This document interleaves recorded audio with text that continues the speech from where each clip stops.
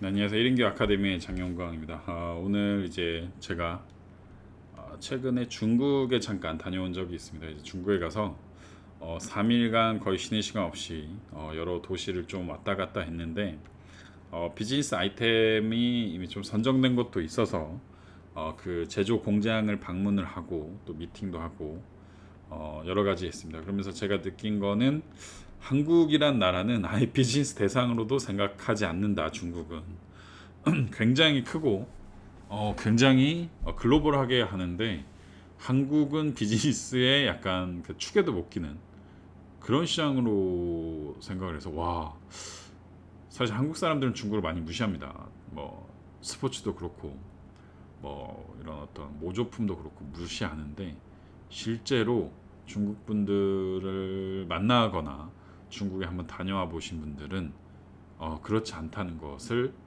많이 느끼실 겁니다.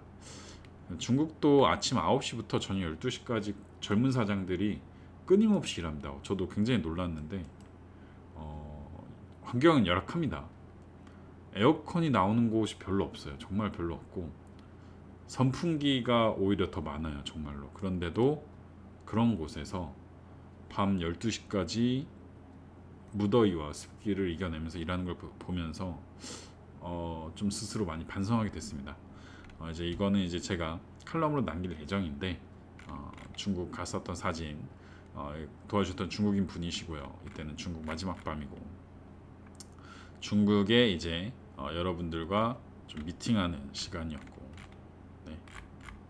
요것도 이제 저희 쪽 분들하고 미팅하는 시간이었고요.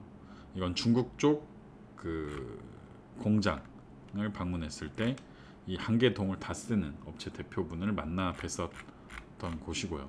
중국 분들이 파는 물건들 예, 5톤 차량 있죠. 예, 하역합니다. 한국 아파트형 공장처럼 이거는 중국의 충전기 시장들 이렇게 많이 와, 좀 깜짝 놀랐습니다. 이거를 다 한 공장에서 다 만들어냅니다. 그리고 이거는 중국의 그 아파트형 공장 오래된 네. 이거는 이제 식사 할 때 중국 분들의 어떤 식사 예절도 거의 그 영화에서 나오는 그 식사 예절 그걸 제가 좀 봤고요. 중국에 있는 어떤 그 핸드폰 케이스 관련 업체인데 이렇게 많은 거를 샘플로 놓고 판매를 또 하고 있습니다.